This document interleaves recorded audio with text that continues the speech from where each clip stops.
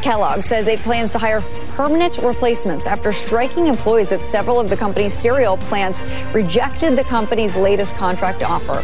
Kellogg says the majority of the 1,400 union members who have been on strike for two months have rejected its latest five year offer.